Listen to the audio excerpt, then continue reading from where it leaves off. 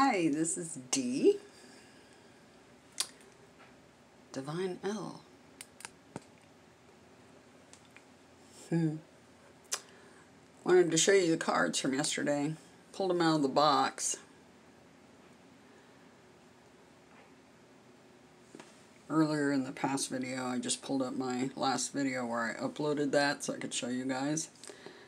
Pulled the cards out of the box because I always stack them back up put them on the bottom of the pile, put them in the box. So they're exactly as they were last night. Ah, some more interesting things that I noticed after I uploaded the last video. A whole lot more. Me, allow me to take you on that journey. You know that song from Muse? Follow me. Listen to the words. Yeah, listen to the words. So, anyway, um, this was yesterday's reading for today. I did this reading last night. Oh, interesting. I'm looking at the clock and it says 111. Remember what they said in the codes don't fear the 11s. It's interesting because I also got, Nell got 1111 today, and I got 1011 today. Fascinating. Don't fear the 11s. There's some more things um, that I wanted to point out to you about this reading yesterday. First of all, this card. The arrow the bow and arrow. Artemis, the great huntress, carried a bow and arrow. She is another name of the goddess. Notice it's pointing at that cup. That was them indicating to me to uncover and reveal the truth about that symbol on the back of my neck. Birthmark, discoloration, what have you. That was there telling me it's time to tell you. Interesting that on that arrow it says Law of Providence. Yeah.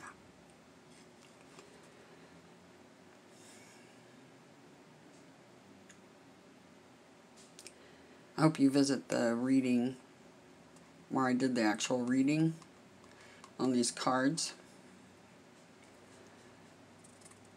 because it'll help fill in some gaps possibly.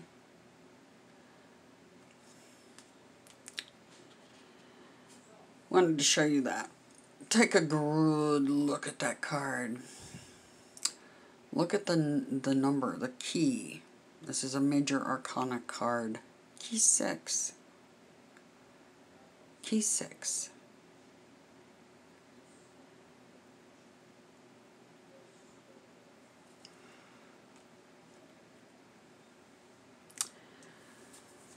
The rogue when a bit of roguish behavior is in order. this is where Loki cuts off Sif's hair. A bit of roguish behavior. Notice the moon, the crescent here. Another symbol of the goddess. Remember I showed you in the last video, Aquarius symbol of Aquarius. Also notice that this is the 7 card.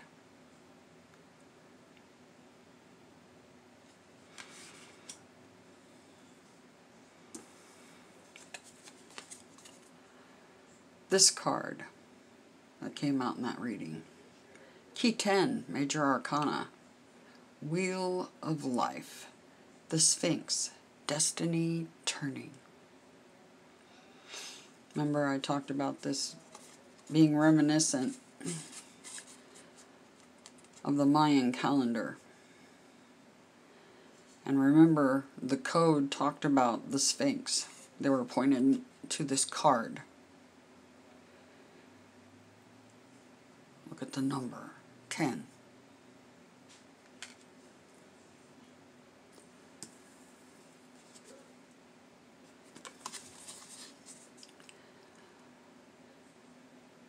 Another major arcana, key 17, the healer, also known as the star card. This is the card of Aquarius. See the Aquarius symbol here. Notice how it borders the Wheel of Destiny.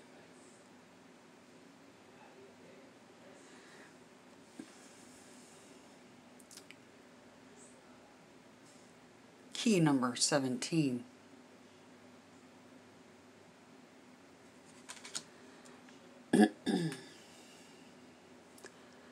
Six. Add the seven to the ten, you get a 17. Reduces to a 6. Again, the repeat of the number 17 on the healer card once again reduces to a 6. 6, 6, 6.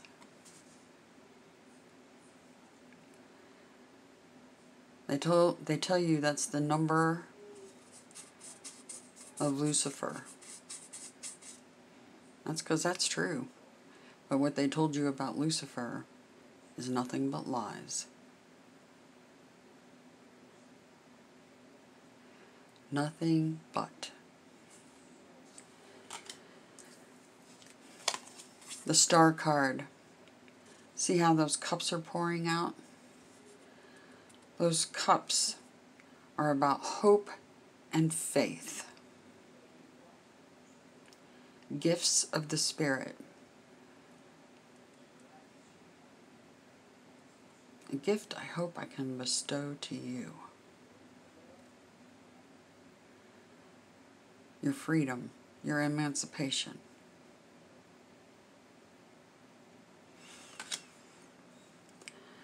Some other interesting things. I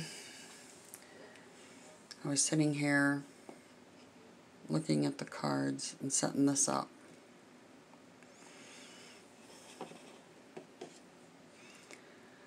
The picture on the bottom of the box is the goddess, Archangel of Mysteries, she who has secrets. She plans to share those secrets with you.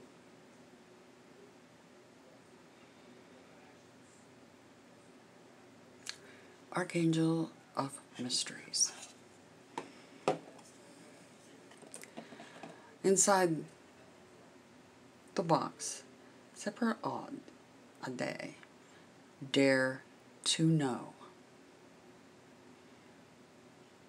With the dove The creator of this deck was divinely guided to design this deck so that it would land in my hands. It's destiny. Strangely enough, she's not fully awake, but awake enough that she got the guidance to make this deck. I applaud you, Benabel Wynn. Very very well done. You succeeded in your great work so that I could do my great work.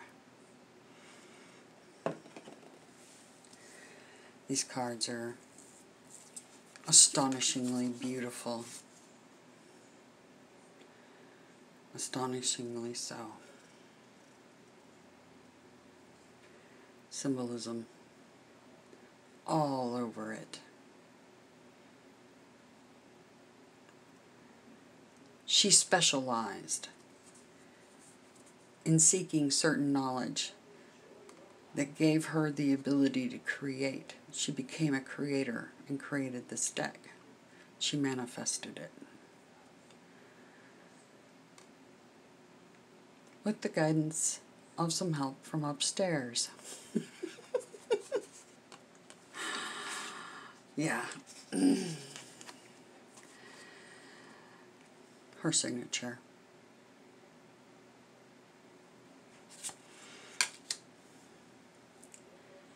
Deodar is the name of this deck. These are not numbered decks. These are named with angel names, interestingly enough. Deodar. D. And my old last initials here. D-A-R.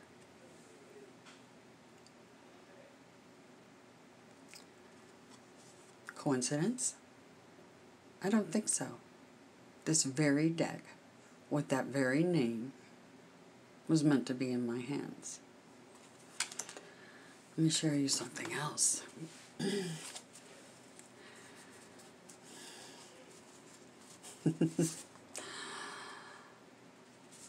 On what would be considered pulling from the top of the deck, Ten of Chalices the joyous one.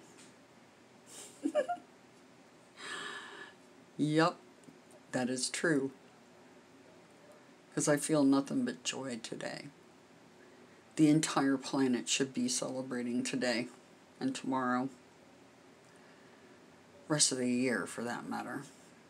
Rest of the next thousands and thousands of years. Because my joy is that we're going to be carrying out our destiny and releasing all of you from slavery. It is your emancipation. Let me show you something else. The bottoms of decks always tell a story. Remember the dynasty.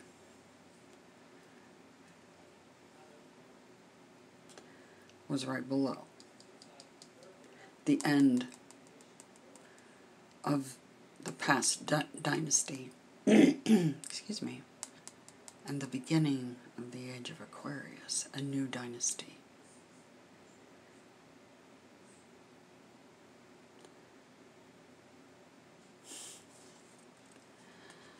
I was watching a tarot reading, these upside down because I want to keep them in order I was watching a tarot reading, a couple of them yesterday. One was done by San Tarot. And she said, You're the dark horse.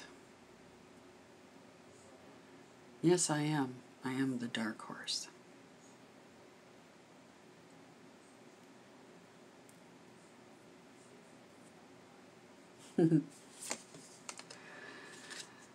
the next card the sharpshooter. This is Artemis. Eight of Scepters. This is the Sagittarius card. I am a Sagittarius rising.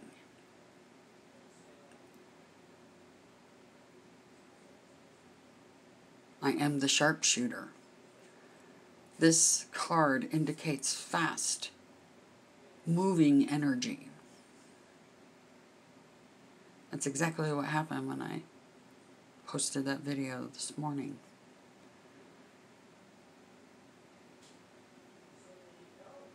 That's exactly what I'm doing. Because I am the seeker, I am the rose.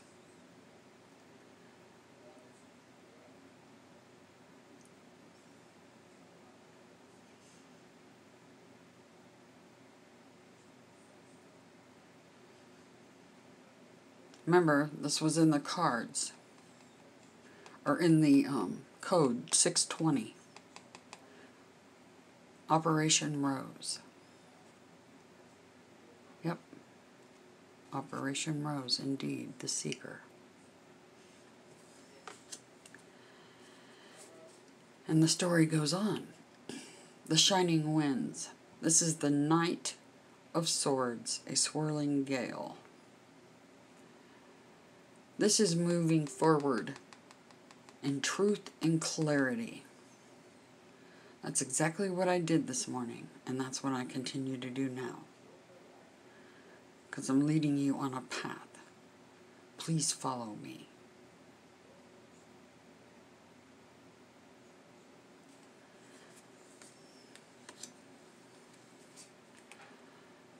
Next card right below that. Like I said, the bottoms of tarot decks tell a story. And after this, these cards were laid out, this was the order of the cards at the bottom after the shuffle. Eight, the Force. This is also known as the Strength card. Just so happens that the female pictured there is the goddess. She tamed a lion with compassion and love. So she overcame a beast with compassion and love.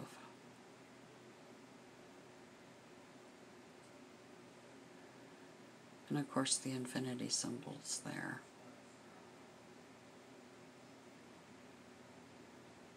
This is the card of Leo. The reason Zeus married her was because she was able to tame the beast with love and compassion. Just read the stories about Zeus and his wife. That's Gabriel, just in case you don't know. The initiate, spirit in search of experience. Notice the rose in the middle. Something that Nell pointed out to me. Turn it upside down. And the symbol on the back of my neck is right here. Not once, but twice.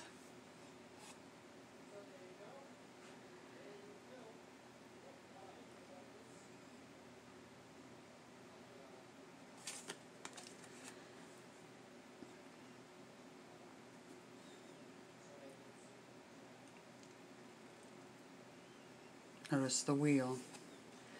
I was listening in between the first video today and this one to that song Journey, Wheel in the Sky. Wheel in the Sky.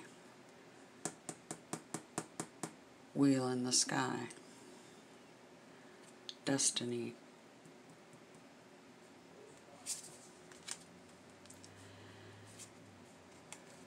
Next card. Sacred Fire, The Awakening. Yep. That's true. You all are awakening, and so am I. Very next card out, the Holy See. Master of the Arcanes. This also happens to be the Taurus card.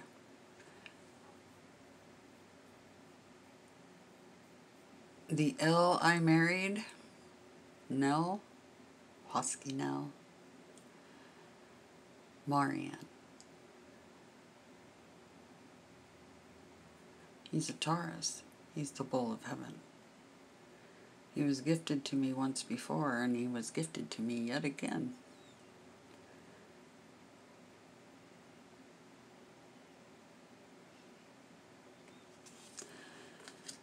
And the Empress.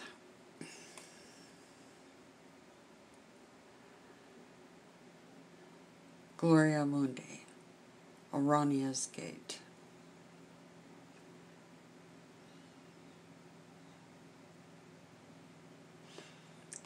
I've always been particularly fond of dragonflies.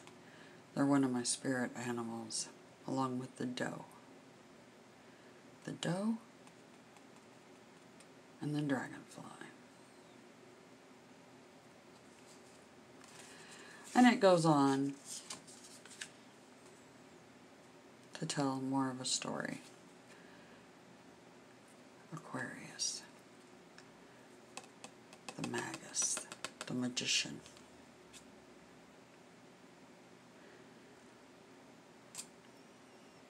Big story there in those cards. Hope you're following along. There may be more in that than I even realize based on numerology and the numbers. But that reading yesterday, six, six, six. Say that's the number of the beast. Well, it's the number of man. It's also the number of Inanna. It's also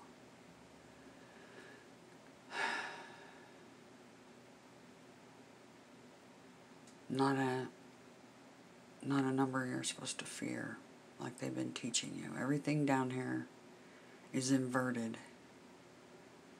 Everything down here is a lie, or nearly all of it.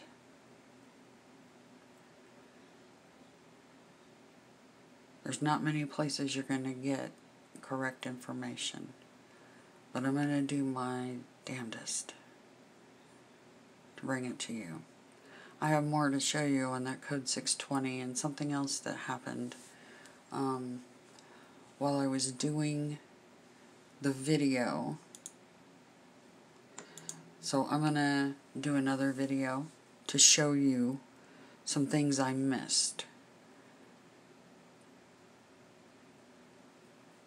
You know, I don't know if you've seen the movie Lucy where she basically plugs into the AI. It's interesting because that's kind of what I'm doing. Lucy. Hmm. Anyway, I wanted to share that with you. You need to dare to know. I love you more to come.